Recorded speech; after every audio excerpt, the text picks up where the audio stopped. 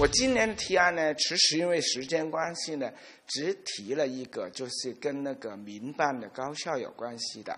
我希望呢，现在那个呃内地学生到香港就学的就读的这个安排呢，有点改变。呃，第一，因为这个大湾区的那个发展呢，其实也是要促进两地的人员的那个流通。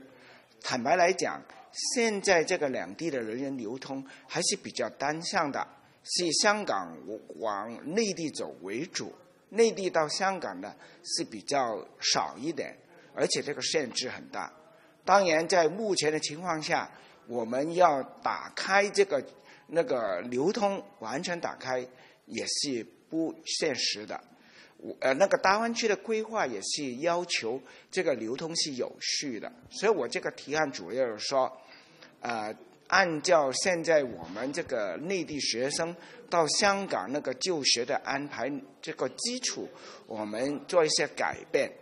主要就是以大湾区内地学生作为一个对象，进行一个试点，允许他们到香港的民办高校里面去学习，特别是民办高校里面应用型的、技术型的呢学科，让他们来就读。然后最主要的是改变以以往这个上限，以这个院校的那个总体学生人口的百分比。这个安排，把它取消，变成了用香港高校、民办高校的剩余学额来接收内地的呢大湾区的这个学生。这样呢，因为我们用这个它剩余的名额，那就会比较科学的，不会增加香港学生的数量，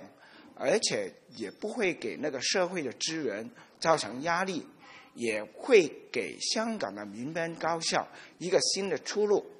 对香港的年轻人来讲呢，也是一个很好的机会，特别是民办高校的学生一个很好的机会。他们可能缺乏跟内地学生深度交往的机会，有了内地学生在他校园里面学习，他就可以通过这些内地同学的关系，建立在内地的网络，对他将来在大湾区里面。就业、创业、发展自己的事业是很好的那个条件。thank you